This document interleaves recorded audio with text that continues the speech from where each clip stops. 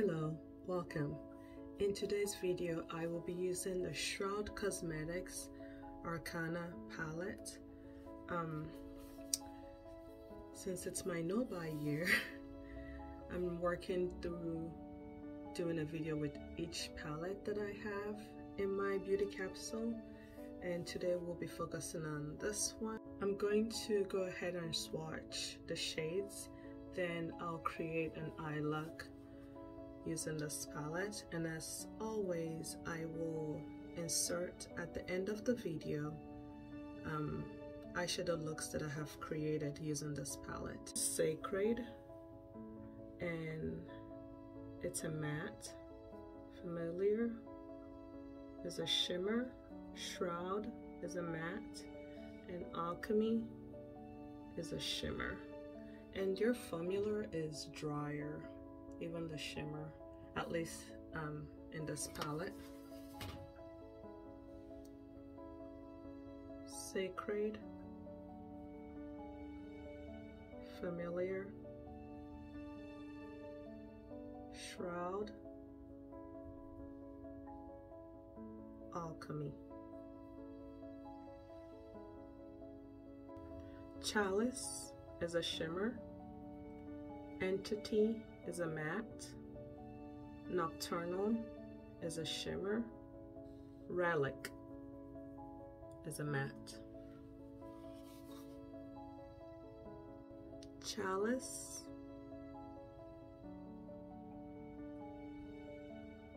Entity. Is it? I think my hand, my finger, oily from wiping it off. I'll try again. Entity. It's a mustardy shade. Blends into my skin tone. Um, Nocturnal and Relic.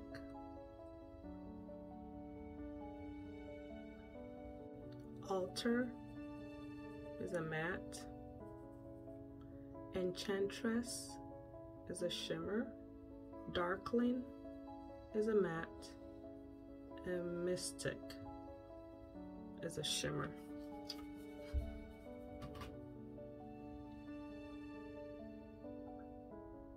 Altar. Enchantress. Darkling Mystic.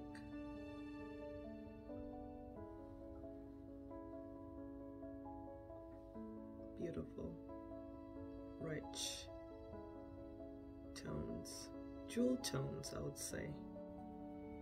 Primed my lids already with um, concealer and setting powder.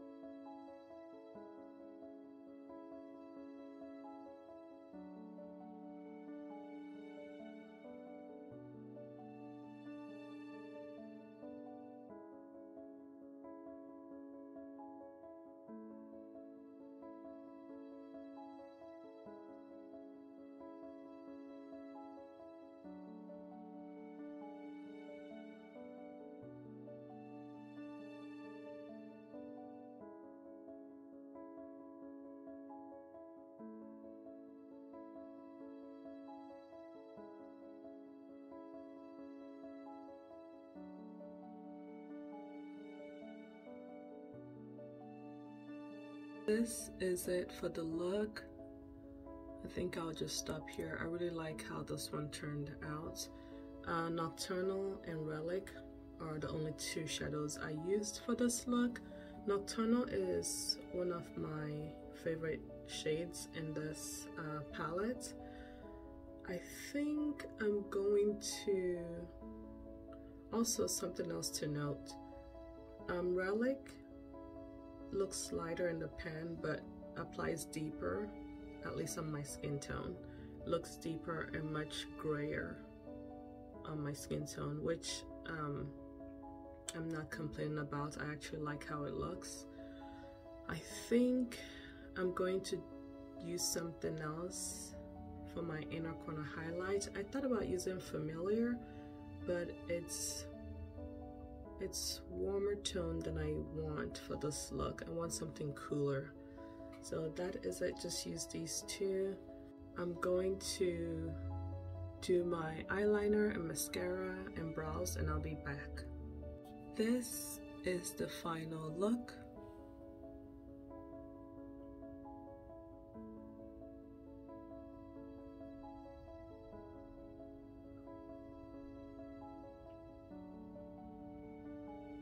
I really love this eye look, the cool tone, grungy feel of this whole look.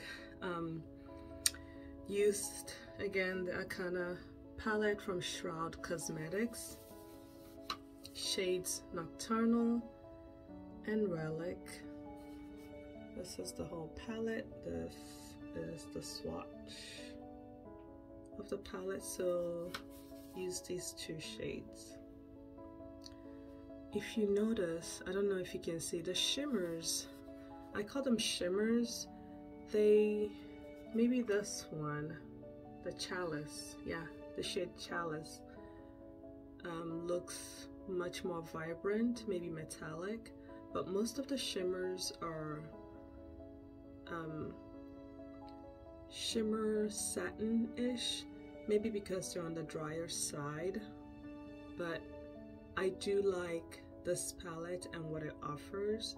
And there are times when I don't want bold shimmery eye look. I just want something that catches the light just a little bit something perhaps muted. So that's the cool thing about having so much um, eyeshadow options. When I'm feeling like a certain mood I know which eyeshadow to pick up and use or which palette to pick up and use and this is what I'm going for, what I'm feeling today. I wasn't thinking these two shades, but I opened up the palette and decided those two shades cool tone. So I continued on the cool tone for the whole look. I really love this look.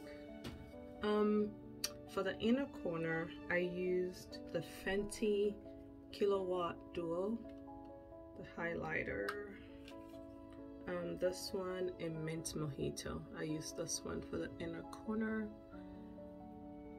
Lightens up the look but still in a cool tone family. My eyeliner I use the Hindash Hero Line eyeliner mascara. I use the Isamaya Rubber Lash mascara. And while we're on Isamaya that's what I'm wearing on my lips. I'm wearing the LipLacq um, by Isamaya. Keeping it dark toned, grungy looking. And I really, I love this look. I haven't working through my other palettes, trying to get through my personal project of using every shadow at least once. I've gone a long time without using this one and I really missed it. Um, when I say missed it, I meant while using the while going through my project, this is one of the palettes that during that project, which I'm still going through, I thought, oh, I should use this palette and I just haven't gotten around to using it and today I decided I'm gonna pull it out and use it. Since I'm also working through doing a video with all my palettes at least once. So one of the other palettes that I'm thinking I've been thinking of going back to use is the Subliminal by Pat McGrath the cool tone one. Um, the Isamaya industrial palette. I've yeah I've thought about that. But this is the eye look the lips for my face. Oh before I applied the Isamaya um, LipLacq while I was getting ready doing my base I applied the Olivia Palermo Lychee lip balm. And then for my spot concealing and under eye just overall base I use my LYS concealer in DN3 use my two Kosas concealer. This one is 08 and this one is 8.2 08 um, I don't know if you can see. It's getting um, to the end of it. And also I notice it's much drier when I apply it but I think I have a few more uses. I'll keep using it till I can't get anything out of it but I can see a lot of space and window through it. And then 8.2 for setting my face I used um, the Pat McGrath under eye blurring powder in yellow it broke so I crushed it up and I put it in this jar I used it on my lids and all over my face and then something else I used just on my lids and underneath my under my eyes are these two powders from the Hourglass Elephant palette. Those two powders are dim light and soft light. So dim light and soft light and I blended both and just applied on top of the Pat McGrath powder before applying the shadows. And then for my highlighter, here and here, I'm using the 100% pure germed, gemmed highlighter in copper gold. This is what it looks like and it opens up like that. Um, there's a dip in it. It has an imprint that says pure with a flower and I've worn it down. That's a part of the P in it. But I haven't used this one in a while, so I was like, let's pull this one out and use it. I am not wearing a bronzer, but a, a blush that I'm wearing is Suqqu Melting Powder Blush in 08 and this is what this one looks like. It just fell out of the pan. Thankfully the whole thing was intact except for this part so I placed it back and pressed it in all of them but the whole thing just fell out this is the first one that's ever done that. I own three of these and this is the first one that it's ever done that so I'm gonna hold it this way. But this is the melting powder blush in 08 this blush I can use as a I guess bronzer blush bronzer and that's what I used um, on my cheeks today. I used it here and here to bronze and also blush. Viseart Petite Matte Part of the blush got on it the Suqqu blush I used the shade Ghirardelli as my brow powder and then use the Anastasia Beverly Hills um, Clear Brow Gel to set my brows. Set my whole face with the Olivia Palermo Pre-Show Mattifying Mist. And I think that's it for the whole look. For the tools I used for this look, let's see I think this is all of it. My Sonia Kashuk buffing blender. I used it to um, blend in the concealer under my eyes and on my lids. Use the Spectrum and Katie Jane Hughes 02. Use this for the powder, for the and for the bronzer blush, the Suqqu blush in 08. I use the unit 305 for my highlighter.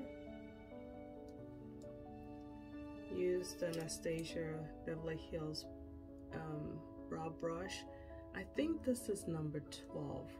I've had this a very, a very, very long time, maybe eight, eight or so years, a long time. Um, and all the writings on it have uh, rubbed off, but that's the brow brush that I use. I use the BK Beauty 210 unit brush 203 and Spectrum and Katie Jane Hughes brush number 15 and that is it. That's the whole look. Really enjoying this look. This makes me excited to wear makeup. Sometimes you put on makeup for the excitement and sometimes you put on the makeup although excited you're you get more excited because how the makeup turned out. Um, but I've been in a cool vibe lately. But that is it. If you like this video like this look like this type of video please give this video a thumbs up. And while you're here please subscribe. I would like to have you here. Um, thank you all for watching and I'll see you in my next video